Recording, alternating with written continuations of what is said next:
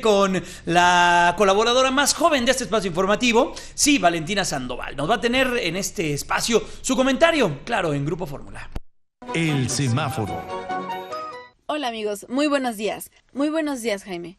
Hoy el semáforo está en verde, pero un verde de pensamientos positivos, porque el día de hoy hablaremos sobre la lealtad amigos, algo muy importante en esta vida, y también vamos a hablar sobre cómo mantenerla. Empecemos aclarando qué es la lealtad amigos. El término de lealtad expresa sentimientos de una persona, animal o incluso de una cosa de respeto, fidelidad hacia otra persona, compromiso, comunidad, organizaciones y sobre todo principios morales. ¿Sabían que la lealtad también se considera un valor, amigos? Lealtad como valor es una virtud que se desenvuelve en nuestra conciencia, en el compromiso de defender y de ser fieles a lo que creemos y en quienes creemos.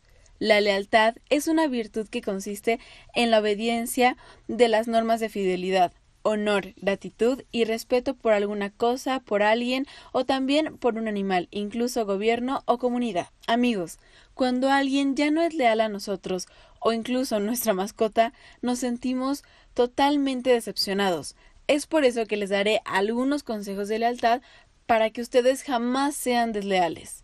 Número 1. Expresa cómo te sientes en realidad. No endulces tus verdaderos sentimientos cuando hables con tus amigos, familiares o incluso pareja. Número 2. No te involucres en chismes. Hablar a espaldas de alguien se considera deshonesto y además totalmente desleal. Número 3. Cumple con tus compromisos. Ve con tus amigos cuando lo prometiste o también cumple con los compromisos con tu familia. Número 4.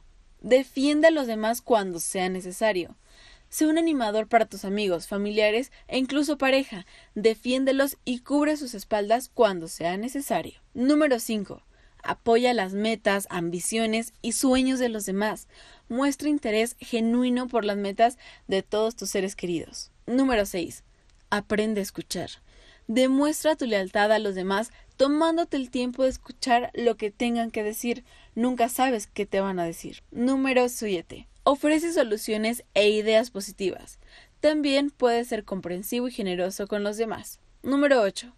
Evita juzgar a los demás por sus elecciones o acciones. Practica un poquito más la empatía hacia los demás y sobre todo con tus seres queridos. Número 9. No dejes que los demás aprovechen de tu lealtad.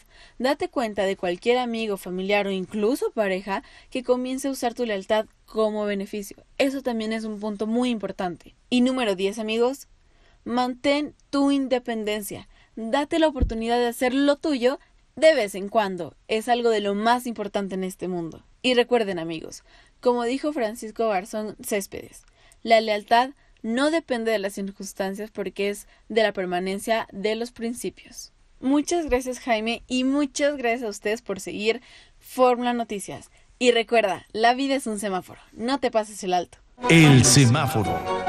Muchas gracias a nuestra colaboradora Valentina Sandoval. Oiga, lo último en información.